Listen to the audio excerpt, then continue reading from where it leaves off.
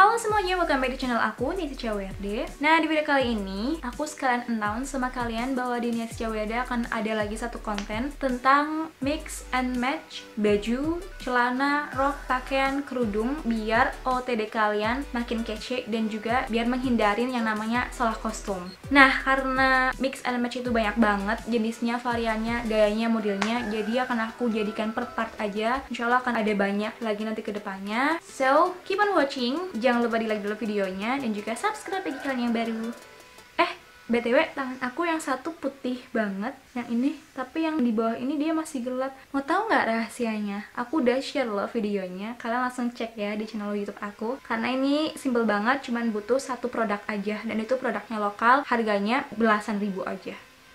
Nah, oke, okay. di sesi mix and match kali ini, aku mulai dari basic banget. Kalian udah baca juga di judul bahwa gimana caranya menggunakan baju polos yang bener-bener polos atas bawah satu warna ataupun gamis satu warna. Kerudungnya harus seperti apa, kemudian bahannya harus seperti apa, apa sih yang harus kalian lakukan, apa yang kalian butuhkan. Ini dia akan aku share di mix and match part pertama.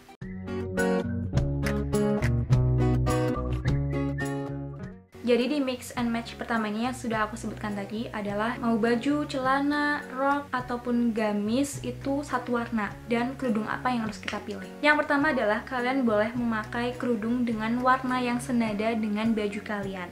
Tapi kalau misalkan kalian mau pakai warna yang senada, misalkan baju kalian dalam bentuk gamis, gamisnya pink semua. Dan kalau mau sewarna itu benar-benar satu warna, satu level, dan satu frekuensi warna kerudungnya. Contoh di etnia Punjabi nih dia benar-benar pakai satu warna dari atas sampai bawah.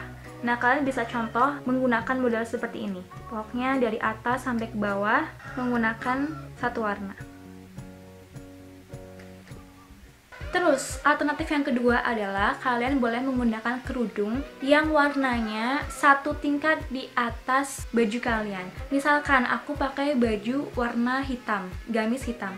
Jadi hitam pasti kan ada abu-abu dan putih. Hitam, abu-abu, putih. Nah, aku pakai warna abu-abunya. Seperti di foto aku yang ini. Nah, ini aku pakai warna abu-abu kerudungnya, sedangkan aku pakai gamisnya warna hitam polos. Jadi kalian boleh menggunakan warna yang satu ton di atas warna baju kalian. Nah, aku ada contoh lagi di sini aku pakai baju kayak warna ungu ungu gitu. Dan aku pakai kerudung kayak warna coklat susu gitu. Nah tips yang ketiga adalah kebalikan dari tips yang kedua. Yaitu kalian boleh menggunakan kerudung dengan warna yang lebih gelap daripada baju kalian. Contohnya adalah seperti ini. Ini dia memakai baju warna abu-abu, gamis abu-abu, dan kerudung warna hitam.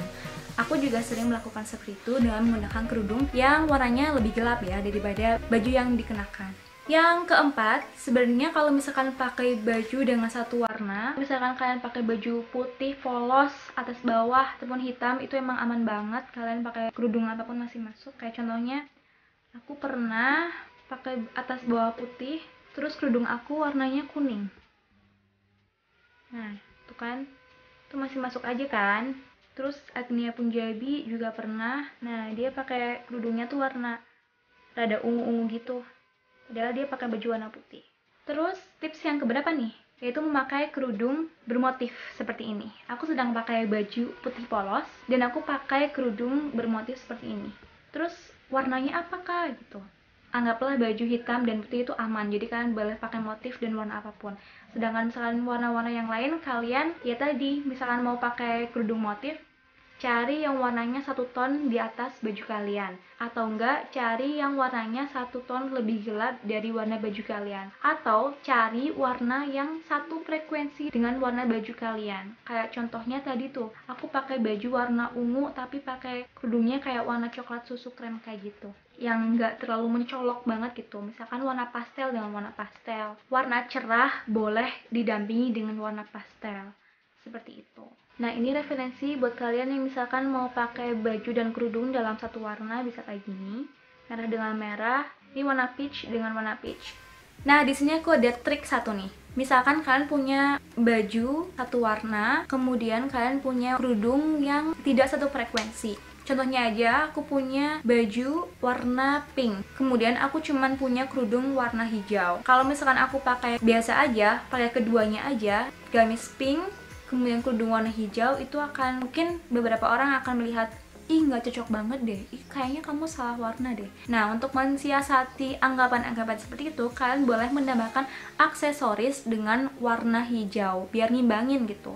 Misalnya kalung warna hijau, sabuk warna hijau, atau kalian juga bisa menggunakan jam tangan, sepatu, tas warna hijau gitu.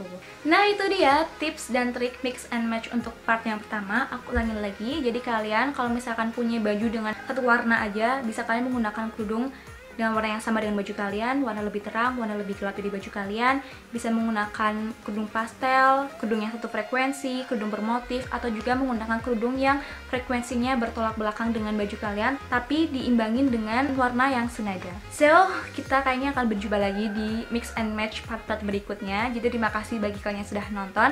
Kalau mau komen atau request, boleh langsung tulis di kolom komentar atau DM di Instagram aku, langsung aja tanya atau request apa. Dan aku gak sabar buat bikin part-part berikutnya. So, see you!